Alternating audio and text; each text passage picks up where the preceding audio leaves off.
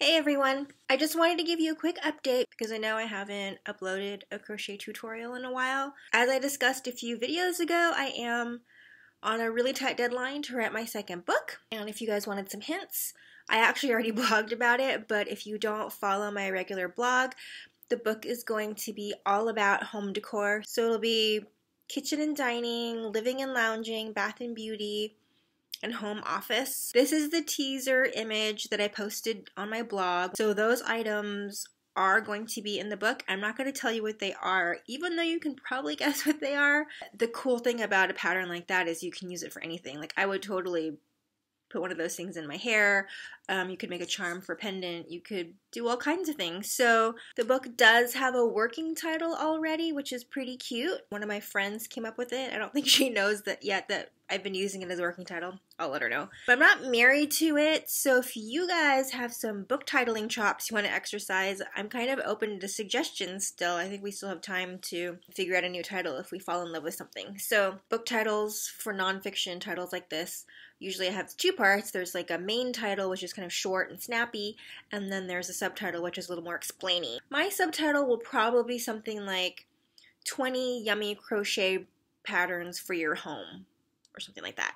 And so then the main title would be the thing that you guys could try to come up with, and hopefully it'll be cute and it would sort of convey the three important factors of the book, which are that it's projects for the house, that it's crocheting, and that it's food themed. And that's a lot to pack into a title. So my current title actually only satisfies two out of those three categories.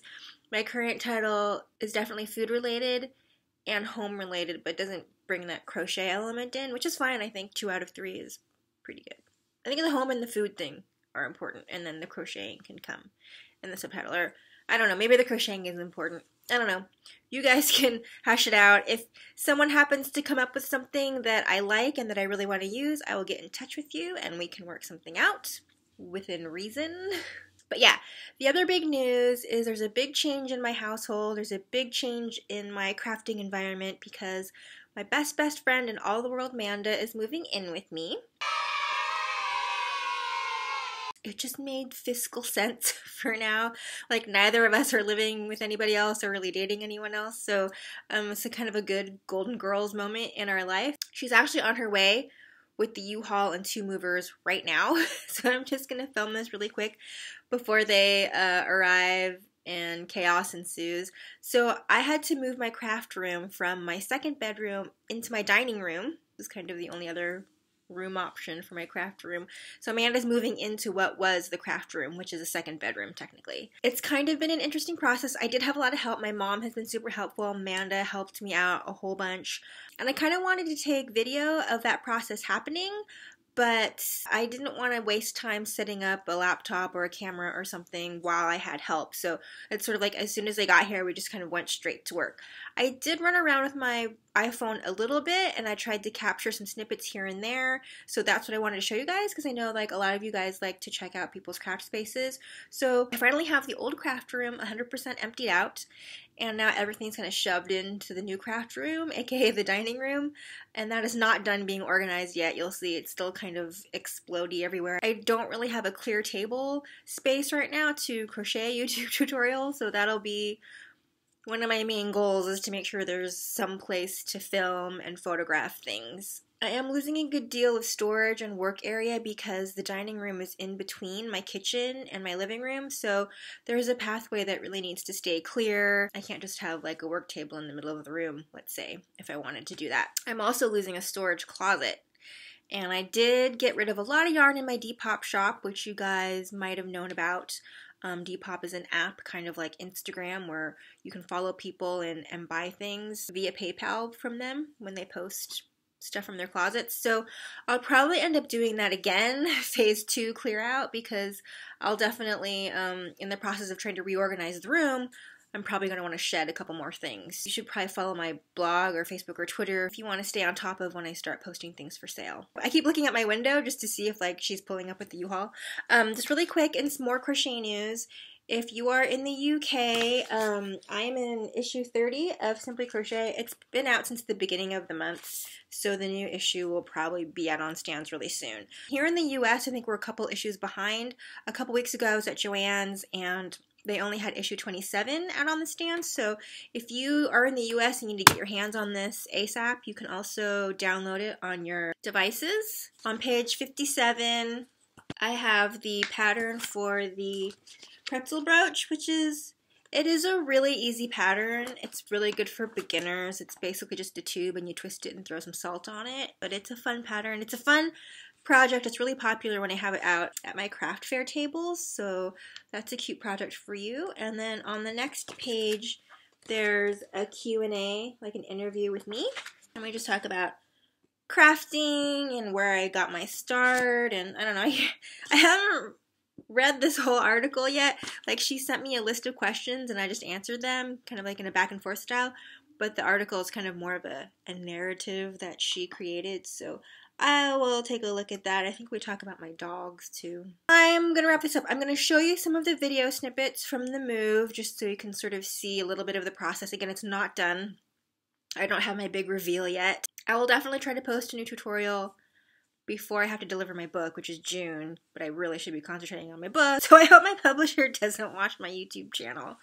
And they're like, no wonder you're late on your deadline. You're crocheting videos for YouTube. Oh, oh, oh. Mother's Day is like right around the corner. How did that happen? I do not know what I'm making my mom for Mother's Day yet. If you have an idea for your mom, or if you are a mom and you have an idea for what you want to receive for Mother's Day, leave me a suggestion in the comments. Maybe we can work on something for moms together. just a couple weeks away, so if you want to put in a bid for that, do it ASAP. I'm going to eat something really quick before everyone gets here and um, enjoy these snippets of chaos, and I'll see you guys very soon. Bye! I think I hear a U-Haul. There it is. I'm gonna go help now. Bye!